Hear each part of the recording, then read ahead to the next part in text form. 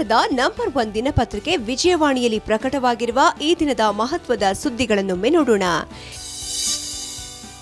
ಕೇಸರಿ ಧ್ವಜವೇ ಮುಂದೊಂದು ದಿನ ರಾಷ್ಟ್ರಧ್ವಜ ಆಗಬಹುದೆಂಬ ಹೇಳಿಕೆ ನೀಡಿರುವ ಸಚಿವ ಕೆಎಸ್ ಈಶ್ವರಪ್ಪ ಅವರನ್ನ ಸಂಪುಟದಿಂದ ವಜಾ ಮಾಡಬೇಕೆಂದು ಆಗ್ರಹಿಸಿ ಕಾಂಗ್ರೆಸ್ ಪಟ್ಟು ಹಿಡಿದು ಧರಣಿ ನಡೆಸಿದ ಪರಿಣಾಮ ಬುಧವಾರ ವಿಧಾನಮಂಡಲದ ಉಭಯ ಸದನಗಳು ರಣರಂಗವಾಗಿ ಮಾರ್ಪಟ್ಟು ಕಲಾಪವನ್ನ ಅಪೋಷಣ ತೆಗೆದುಕೊಂಡಿತು.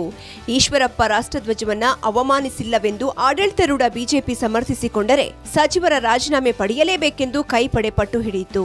ಇದರಿಂದಾಗಿ ವಾಕ್ಸಮರ ಏಕವಚನದ ಬೈದಾಟ ಪ್ರತಿಧ್ವನಿಸಿತು ಈ ನಡುವೆ ಡಿಕೆಶಿ ಹಾಗೂ ಈಶ್ವರಪ್ಪ ನಡುವಿನ ವಾಕ್ಸಮರ ಸದನದಲ್ಲಿ ಮತ್ತಷ್ಟು ಕೋಲಾಹಲಕ್ಕೆ ಕಾರಣವಾಯಿತು.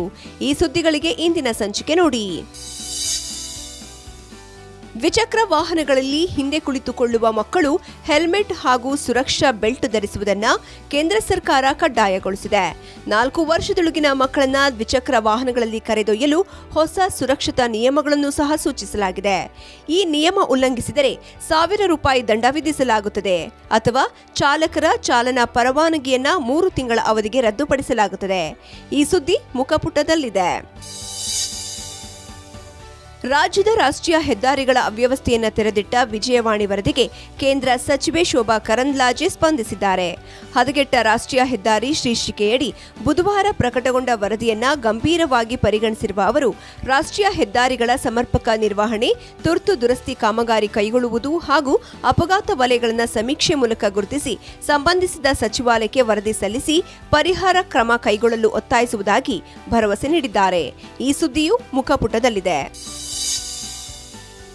ಮಕ್ಕಳು ಮಹಿಳೆಯರ ಕಳ್ಳಸಾಗಾಣಿಕೆ ನಿಯಂತ್ರಣಕ್ಕೆ ಸರ್ಕಾರ ಹಾಗೂ ಪೊಲೀಸ್ ಇಲಾಖೆ ಕಟ್ಟುನಿಟ್ಟಿನ ಕಾನೂನು ಕ್ರಮಗಳನ್ನು ಕೈಗೊಂಡರೂ ರಾಜ್ಯದಲ್ಲಿ ಮಾನವ ಕಳ್ಳಸಾಗಾಣಿಕೆ ಜಾಲವನ್ನು ತಹಬದಿಗೆ ತರಲಾಗಿಲ್ಲ. ಕಳೆದ ಐದು ವರ್ಷದಲ್ಲಿ ಎಂಟುನೂರ ಐವತ್ನಾಲ್ಕು ಇಂತಹ ಪ್ರಕರಣಗಳು ವರದಿಯಾಗಿ ಆರೋಪಿಗಳನ್ನು ಬಂಧಿಸಿದ್ದರೂ ಈವರೆಗೆ ಒಬ್ಬರಿಗೂ ಜೈಲು ಶಿಕ್ಷೆಯಾಗಿಲ್ಲ. ಸಾಕ್ಷ್ಯಾಧಾರದ ಕೊರತೆ ಹಿನ್ನೆಲೆಯಲ್ಲಿ ಬಹುತೇಕ ಪ್ರಕರಣಗಳು ಕೋರ್ಟ್ನಲ್ಲಿ ಖುಲಾಸೆಯಾಗುತ್ತಿರುವುದು ಆರೋಪಿಗಳಿಗೆ ವರದಾನವಾಗಿದೆ. ಈ ವರದಿಗೆ ವಿಜಯವಾಣಿ ಓದಿ. ಕನ್ನಡಕ್ಕೆ ಸಮೃದ್ಧವಾದ ಕಾವ್ಯ ಪರಂಪರೆಯನ್ನು ನಿರ್ಮಿಸಿ ಅರಿವಿನ ಚಿಂತನೆಯ ಹೊಸ ಬೆಳಕು ನೀಡಿದ್ದ ಚೆನ್ನವೀರ ಕಣವಿ ಇನ್ನು ನೆನಪು ಮಾತ್ರ.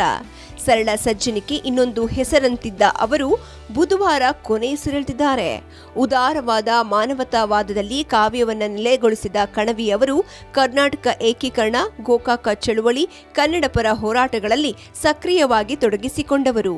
ಅವರ ಸಾಧನೆಯ ಹೆಜ್ಜೆ ಗುರುತಿನ ಅವಲೋಕನಕ್ಕಾಗಿ ಇಂದಿನ ಸಂಚಿಕೆ ನೋಡಿ.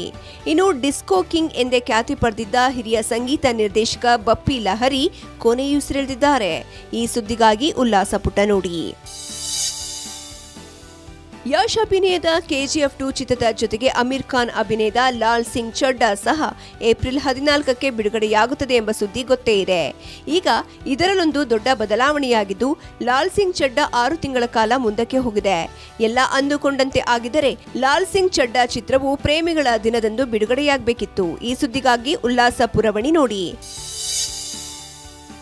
ಇವಿಷ್ಟೇ ಅಲ್ಲ, ಮುಂಜಾನೆ ಮಾತು, ಅಂತರಂಗ, ವಾರ ಭವಿಷ್ಯ, ಮನೋವಿಕಾಸದ ಕಾಲಂಗಳು, ಕ್ರೀಡೆ, ಸಿನಿಮಾ, ದೇಶ ವಿದೇಶಗಳ ಭರಪೂರ ಸುದ್ದಿಗಳ ವಿಶೇಷಗಳಿಗಾಗಿ ವಿಜಯವಾಣಿ ಓದಿ.